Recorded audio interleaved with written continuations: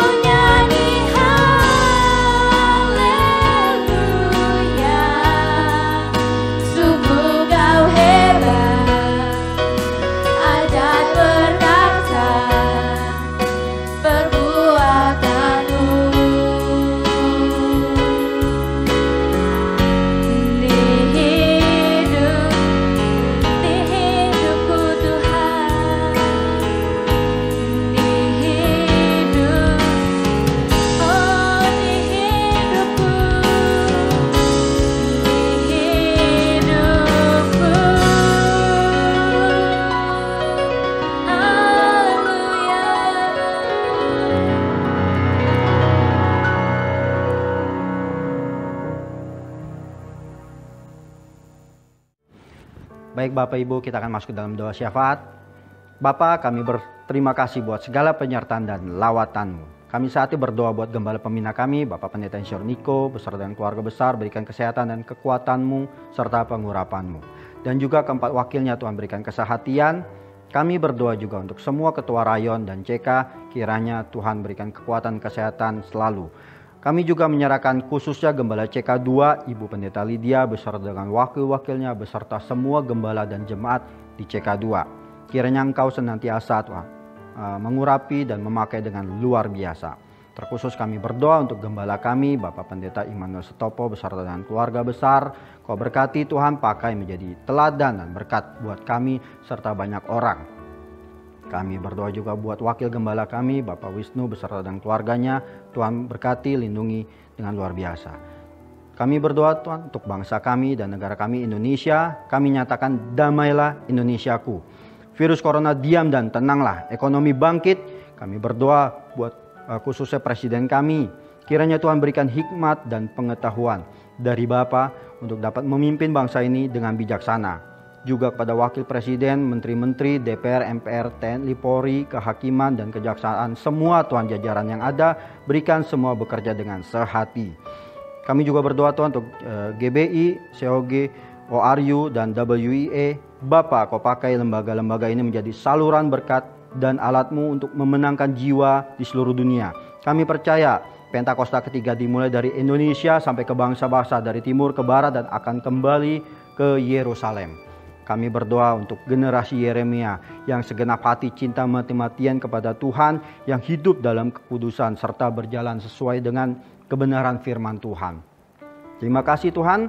Kami juga menyerahkan jemaat di GB Home, Tuhan sembuhkan dan yang sakit, kau kuatkan yang lemah, hibur yang susah, setiap masalah Tuhan beri jalan keluar. Biarlah setiap jemaat terus hidup dengan mata tertuju kepada Tuhan, sehingga siap menyambut kedatangan Tuhan Yesus. Maranatha datanglah Tuhan Yesus. Amin.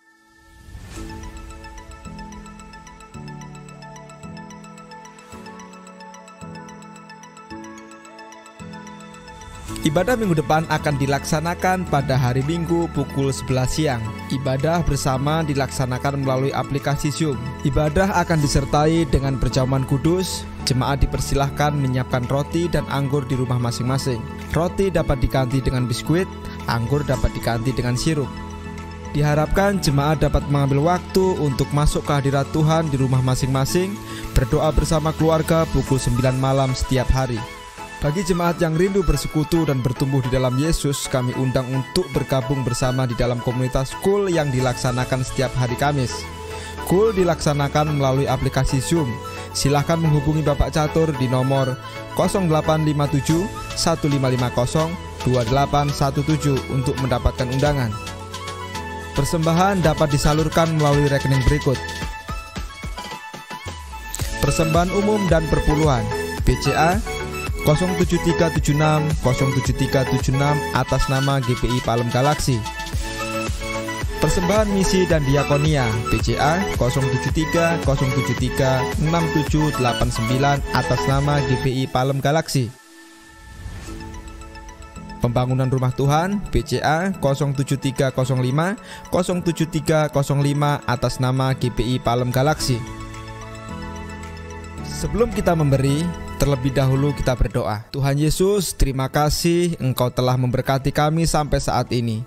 Dan tiba waktunya kami menyerahkan persembahan ini ke dalam tanganmu.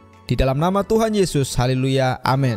Kami GPI Home mengucapkan terima kasih bagi Bapak Ibu yang sudah mentransfer persembahan ke rekening GPI Home. Tuhan Yesus memberkati saudara dengan berlimpah-limpah. Demikian pengumuman yang dapat kami sampaikan. Tuhan Yesus memberkati.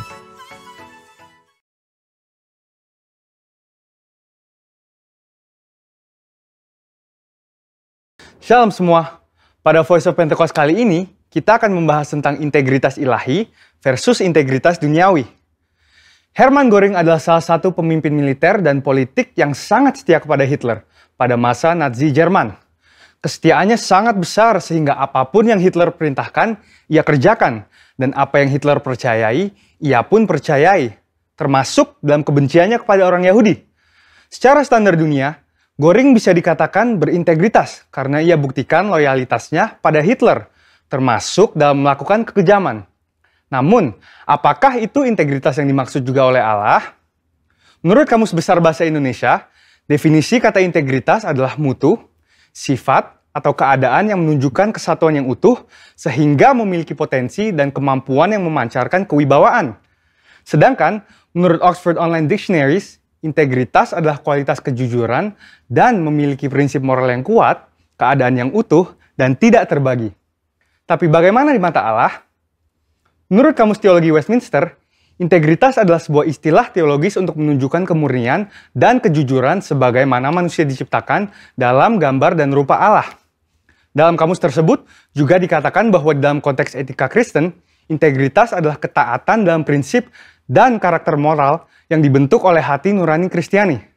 Beberapa hal yang perlu digarisbawahi dari definisi integritas ini adalah bahwa seseorang dikatakan berintegritas jika gambar dan rupa Allah pulih di dalam hidupnya, dan juga bahwa integritas itu dibentuk oleh hati nurani Kristiani.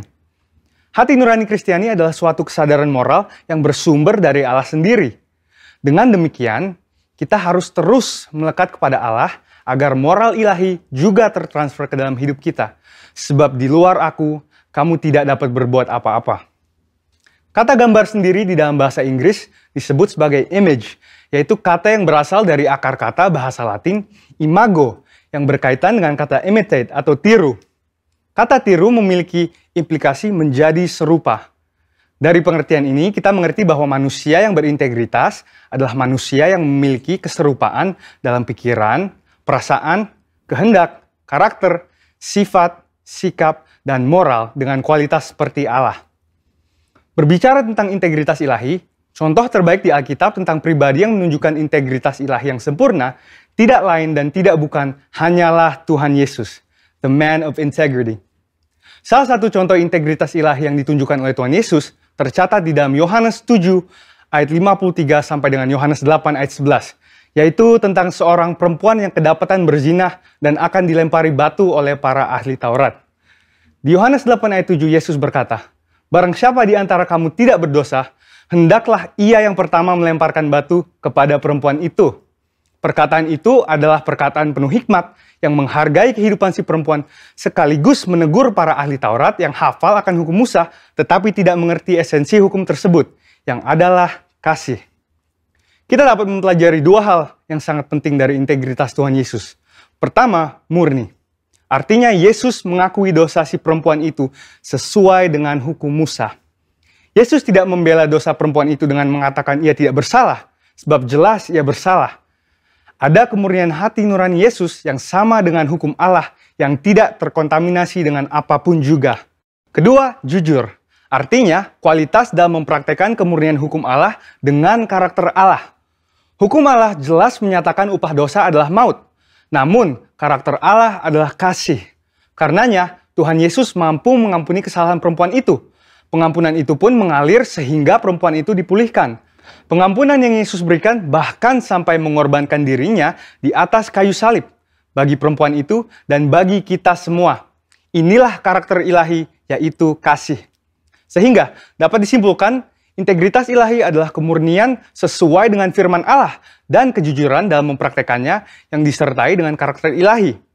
Di sini jelas bahwa integritas ilahi lebih tinggi daripada integritas duniawi dari sisi sumber acuan moral dan keseluruhan cakupan prakteknya dalam kehidupan. Integritas ilahi hanya dimungkinkan untuk dihidupi apabila kita senantiasa bersekutu dan mengenal Allah secara pribadi. Saudara, untuk penjelasan lengkapnya dari tim teologi kami, silahkan cek link yang ada di atas atau scan QR Code yang tersedia. Salam integritas, Tuhan Yesus memberkati.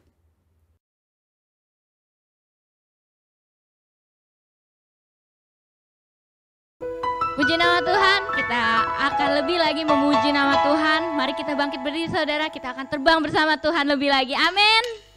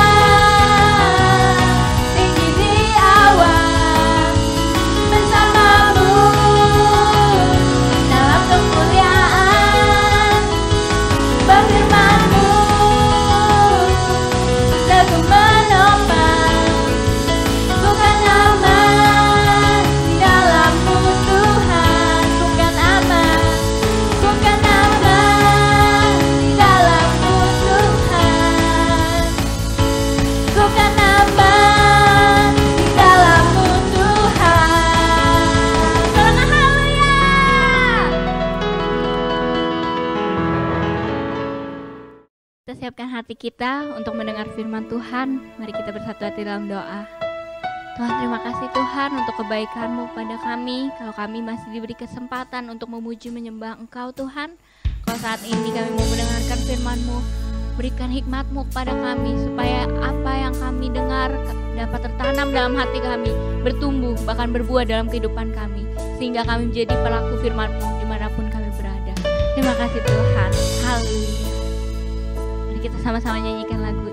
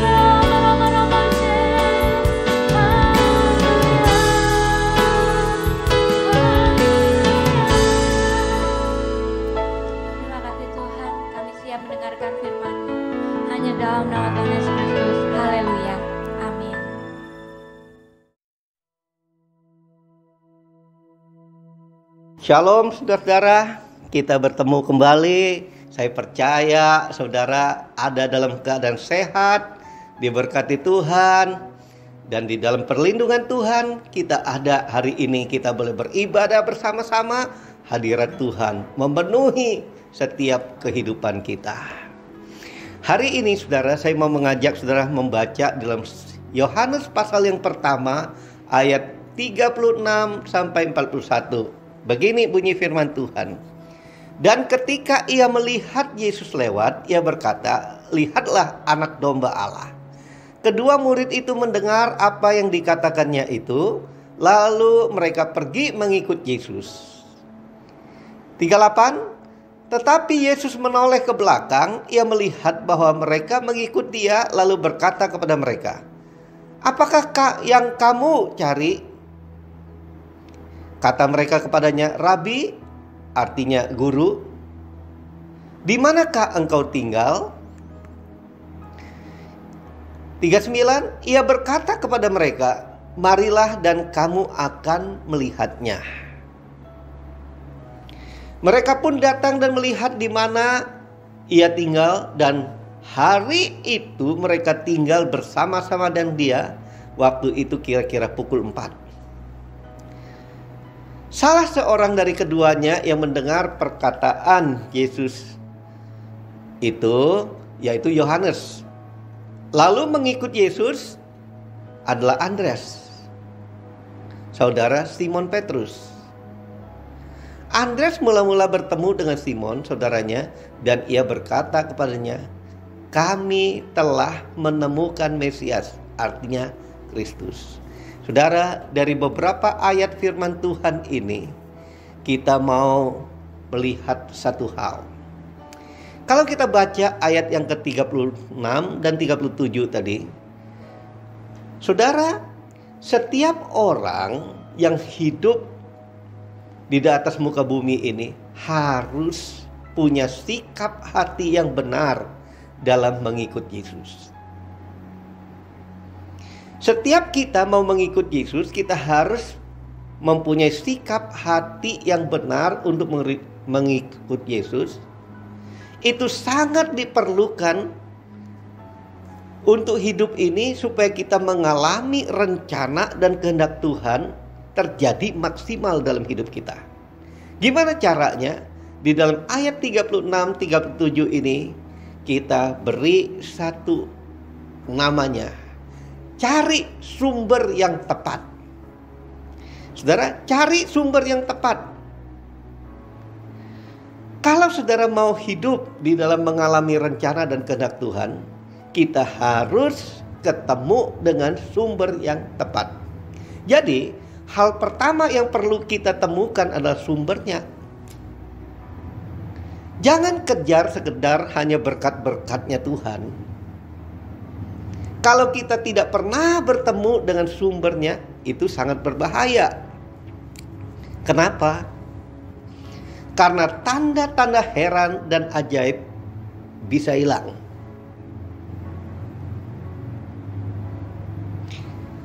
Lalu saudara, tanda-tanda heran dan ajaib, mujizat dan tanda ajaib itu, saudara setan-setan pun bisa memberikannya. Jadi saudara, sangat perlu kita hari-hari ini mencari sumber yang tepat untuk hidup kita. Cari sumber yang tepat itu. Nah, saudara di kisah ini diceritakan dua orang murid Yohanes Pembaptis akan menjadi calon murid-murid yang pertama daripada Yesus. Sehingga ketika Yesus lewat, Yohanes Pembaptis langsung berkata, "Lihat anak domba Allah." Dengan kata lain, Yohanes Pembaptis ini mengatakan, "Ini loh orangnya yang benar." Jadi, Saudara, saya mau berkata kepada Saudara, seorang messenger, seorang pemberita Injil, seorang uh, hamba Tuhan harusnya punya sikap seperti Yohanes Pembaptis ini. Dia harus menghantarkan orang kepada Tuhan Yesus sumber yang benar ini. Bukan membawa orang itu kepada dirinya mengkultuskan individunya. Tapi membawa orang lain yang dia bawa itu bukan ke dirinya tapi bawa kepada Tuhan Yesus.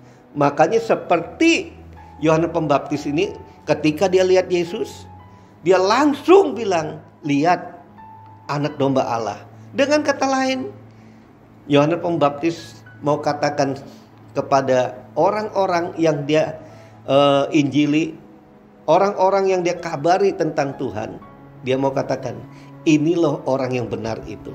Ini loh sumber keselamatan ini. Dia menunjukkan kepada murid-muridnya, inilah dia.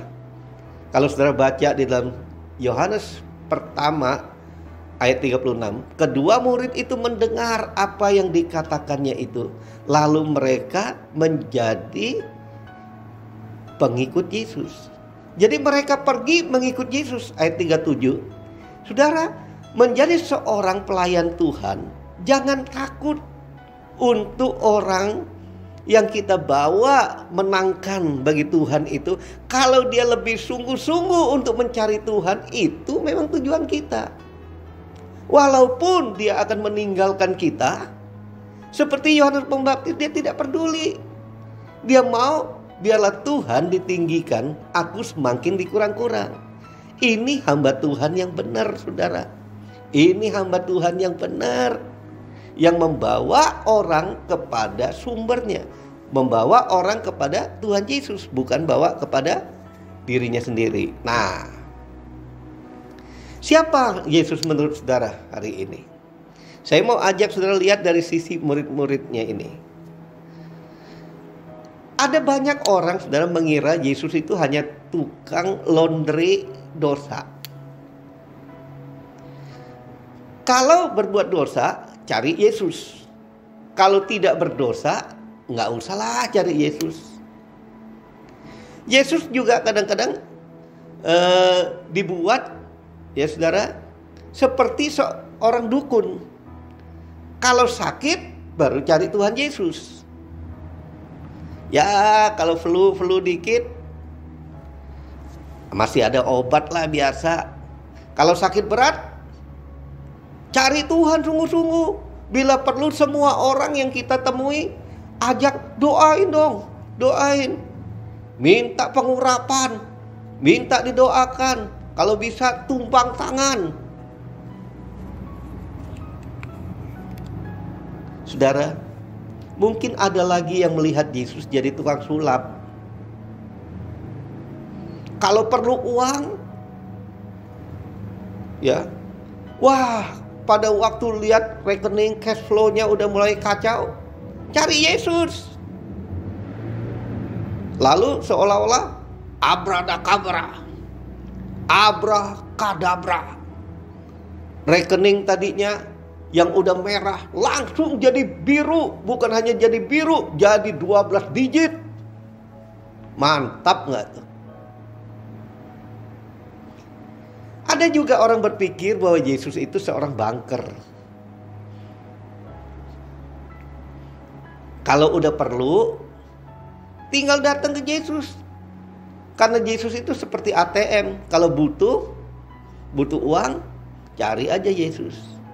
Saudara begitu banyak orang-orang Kristen ini seperti yang demikian ini. Pada waktu butuh cari Tuhan Yesus, waktu susah cari Tuhan Yesus. Jadi kalau cari Tuhan Yesus nggak ketemu gimana? Gini jawabannya saudara, kalau nggak ketemu dengan Tuhan Yesus orang-orang begini, dia akan cari wakilnya, wakil Tuhan Yesus. Nah, wakil Tuhan Yesus siapa? Ya gembala, saudara. Kita nggak bisa nyalain juga sih. Kadang saking paniknya ada orang yang datang ke gereja, lalu memanfaatkan belas kasihan dari anak-anak Tuhan. Ya, saudara, nggak ketemu wakilnya Tuhan, Ya pokoknya teman-temannya Tuhan juga boleh. Karena apa? Mereka tahu persis kelemahan saudara. Sebetulnya bukan kelemahan. Dia tahu persis bahwa orang Kristen itu diajarkan firman Tuhan untuk hidupnya berbelas kasihan. Betul kan saudara? Saudara dan saya diajarkan hidup berbelas kasihan. Jadi saudara kalau mau cari demikian ya kita mesti cari ke gereja banyak orang berbelas kasihan. Saudara motivasi saudara nggak benar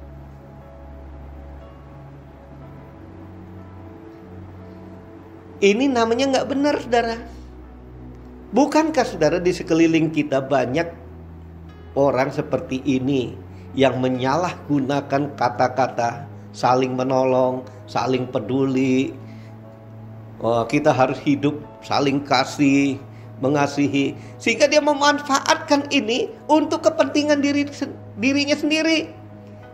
Kalau andai kata wakilnya Tuhan, teman-temannya Tuhan itu kurang memberi dia apa yang dia bilang? Wah, jadi orang Kristen kok nggak ada kasih, jadi gembala kok nggak ada kasih.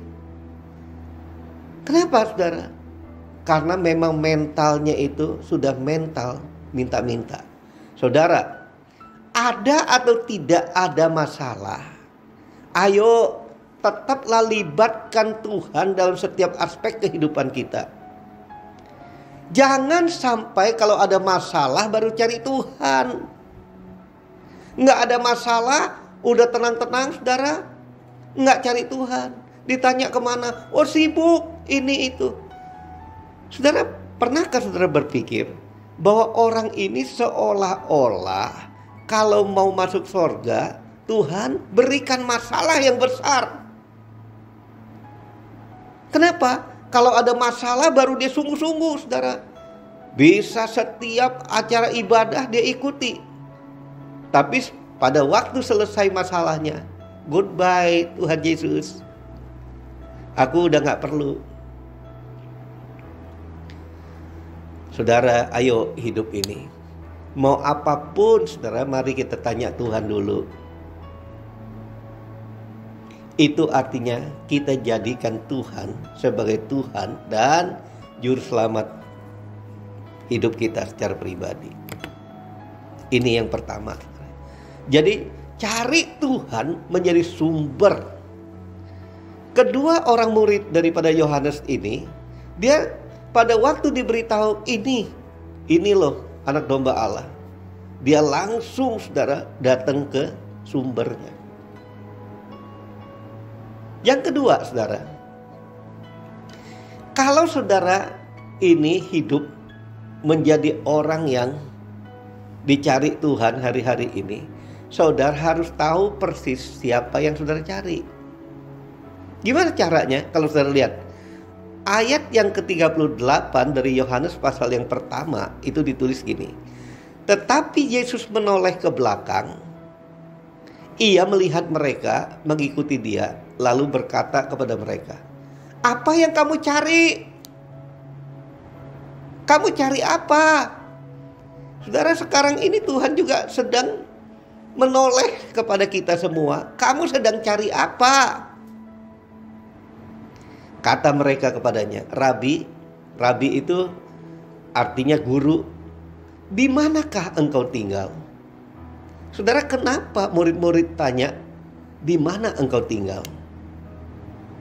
Karena murid-murid ini tahu loh, Saudara. Tahu apa? Karena mereka tahu apa yang mereka cari.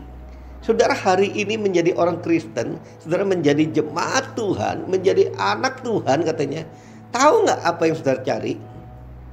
Maka mereka bertanya, di mana engkau tinggal?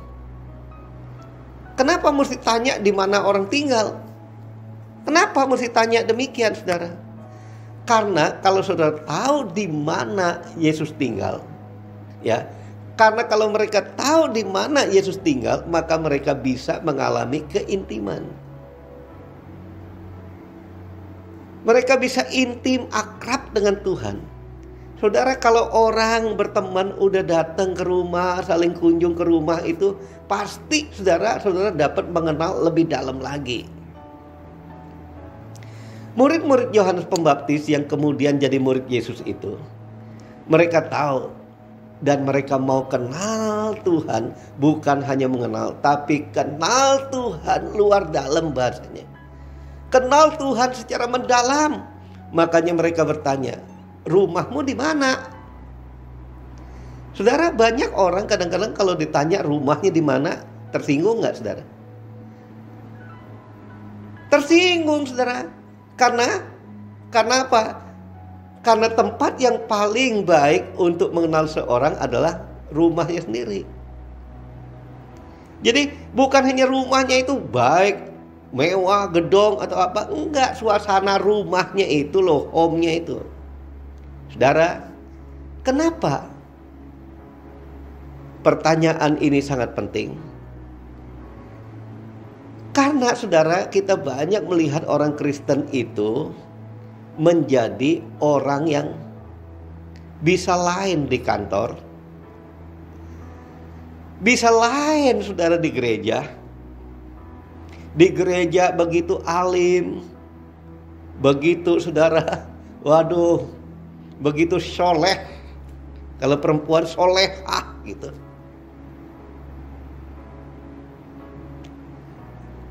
Sampai saudara begitu rupa.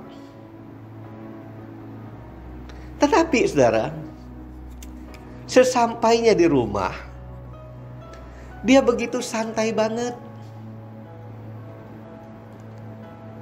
Begitu berbeda. Sampai kita bingung kalau ke rumah orang ini. Kok begitu beda ya?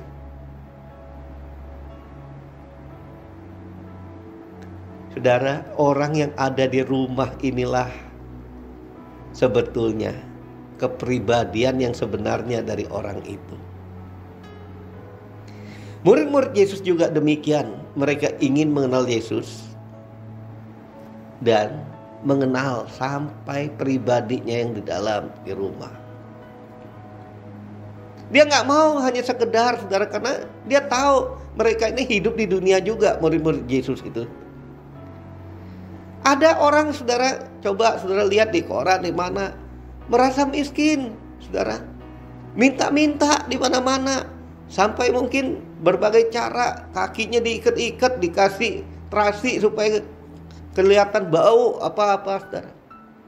Tapi saudara, kenyataannya waktu dicek di kampung, wow, saudara, rumahnya dia punya miliaran,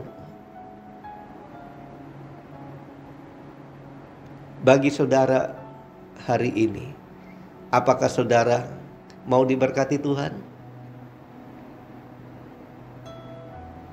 Mari renungkan dulu. Saudara ke gereja mau cari apa? Mau cari siapa?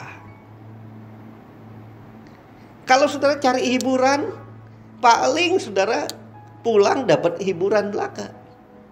Yang saudara ingat cuma pemain drumnya, ya, worship leadernya. Ya. Saudara hanya ingat semua itu. Tapi begitu ditanya, apa isi khotbahnya? Nggak tahu. Karena saudara hanya menikmati apa yang bagian daripada ibadah itu. Apalagi kalau saudara ke gereja hanya rasa kewajiban sungkan sama orang. Sungkan sama teman sama pendeta sama apa. Saudara saudara ikut ibadah saudara nggak dapat apa-apa. Bisa-bisa saudara jadi tukang kritik aja.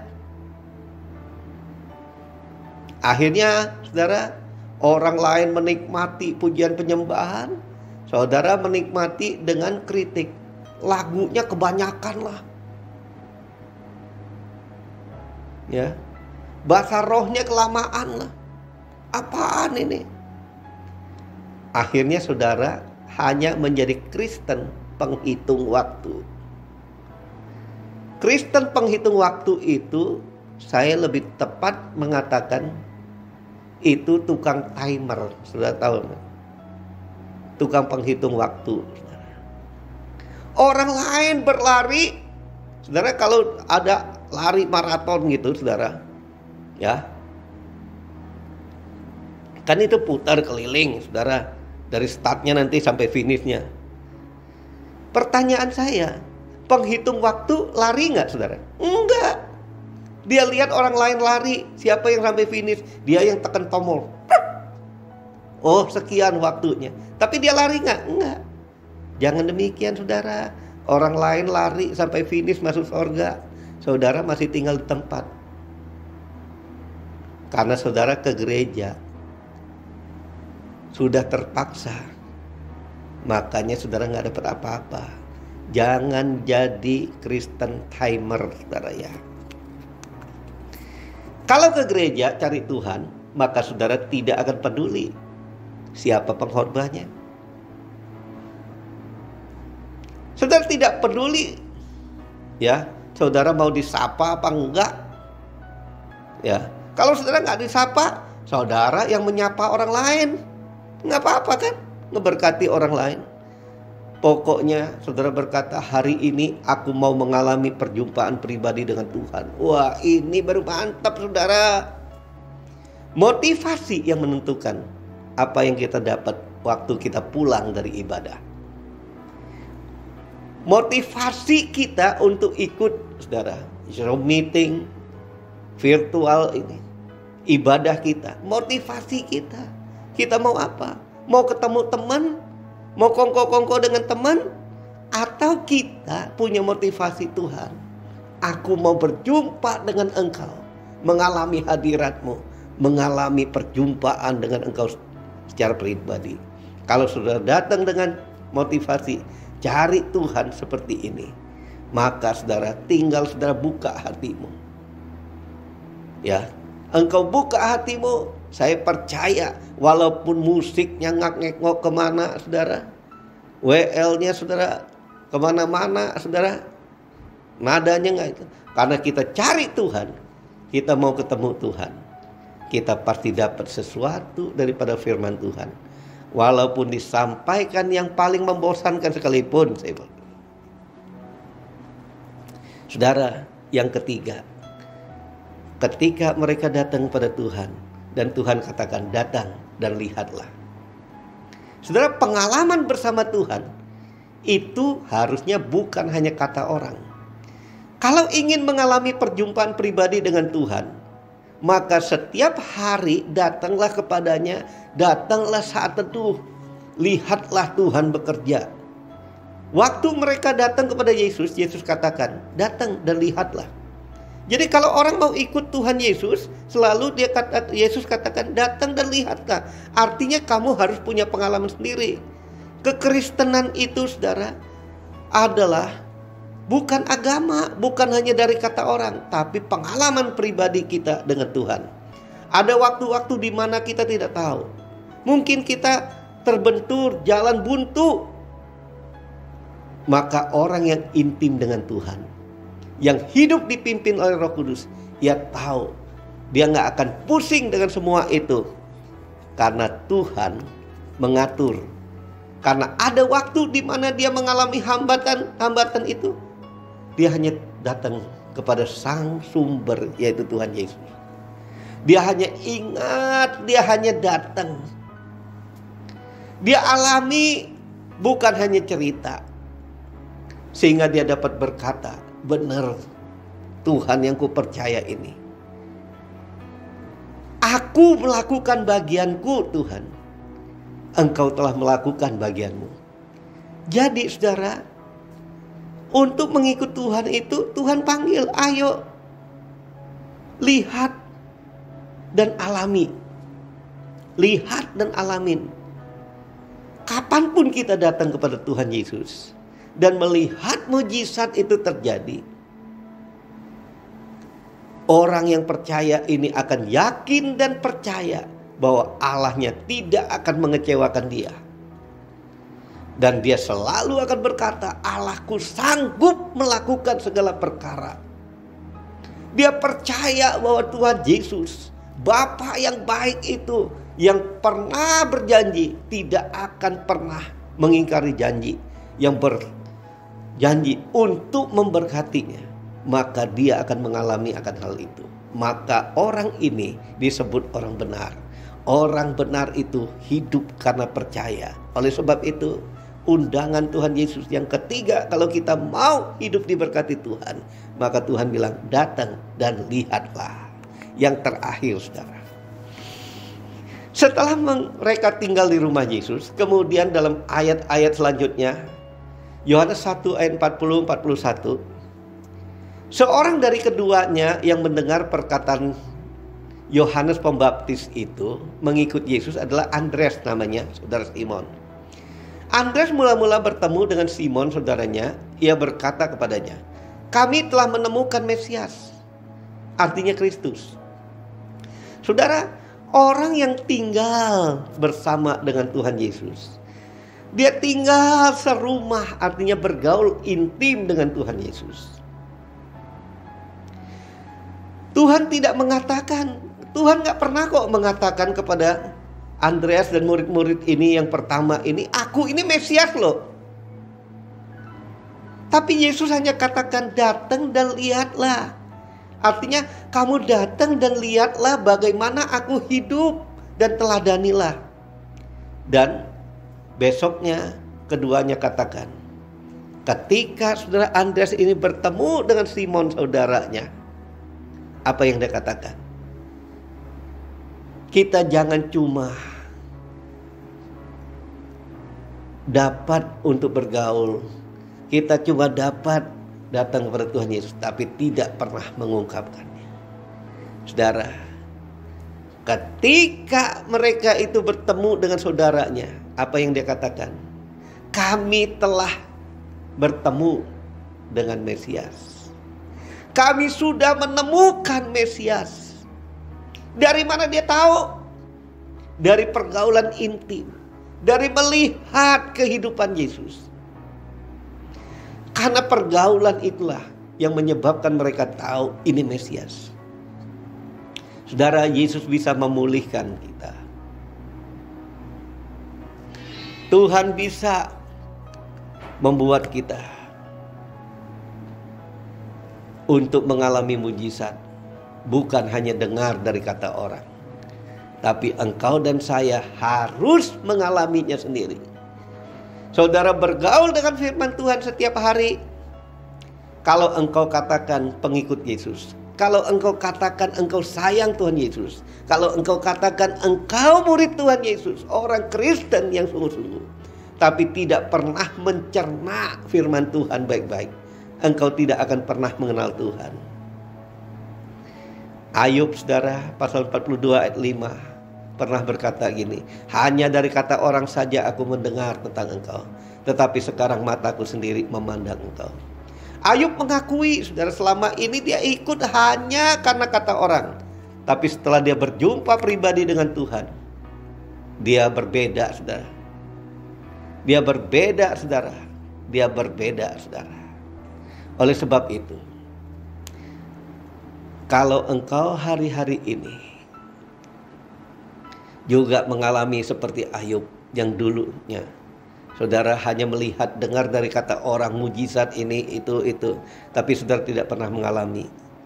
Engkau harus mengalaminya hari ini. Engkau harus mengalaminya dengan perjumpaan pribadi. Saudara, saya mengakhiri ini dengan satu contoh.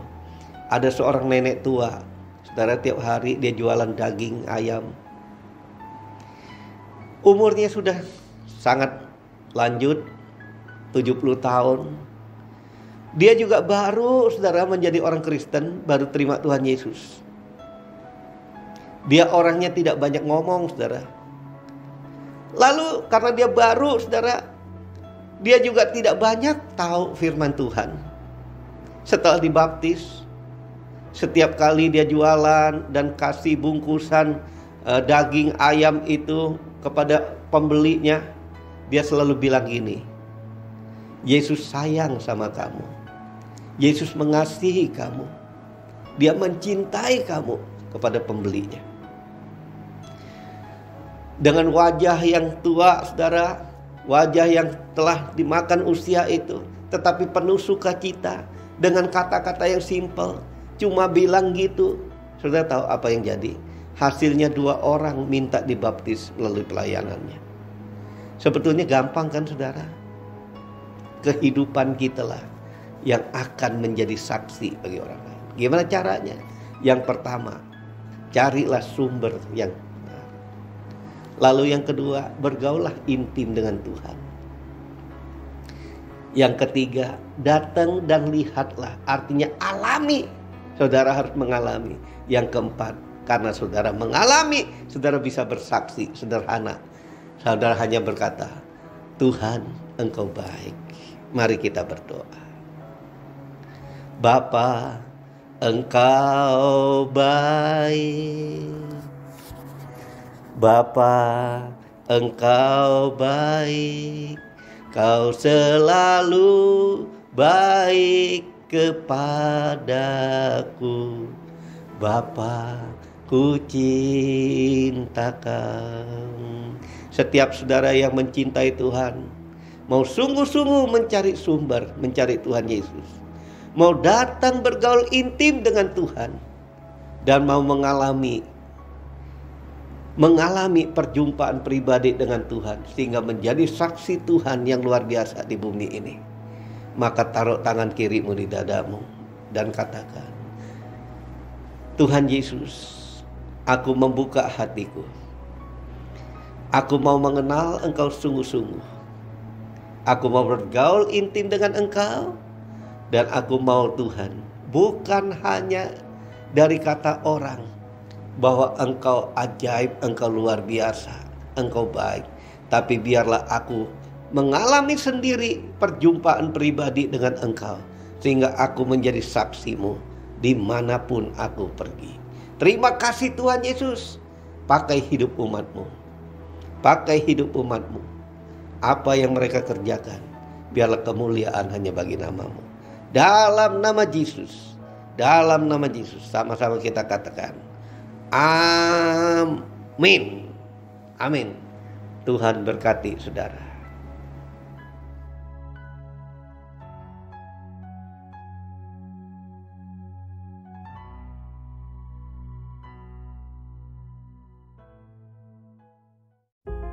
Mari bersama-sama perkatakan iman dalam Mazmur 91. Dalam lindungan Allah orang yang duduk dalam lindungan yang maha tinggi dan bermalam dalam naungan yang maha kuasa akan berkata kepada Tuhan, tempat pelindunganku dan kubu pertahananku, Allahku yang kupercayai. Sungguh Tuhanlah yang akan melepaskan aku dari jerat penangkap burung, dari penyakit sampar yang busuk. Dengan kepaknya Tuhan akan menundungi aku, di bawah sayapnya aku akan berlindung, Kesetiaannya ialah perisai dan pagar tembok.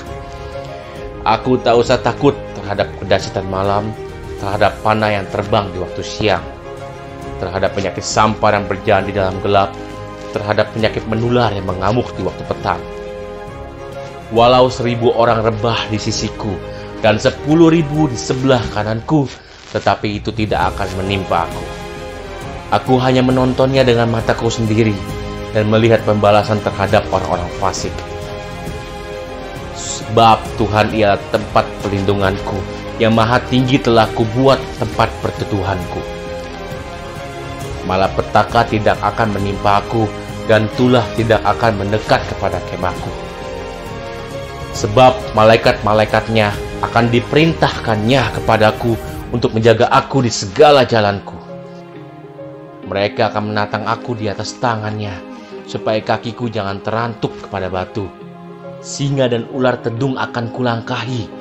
Aku akan menginjak anak singa dan ular naga.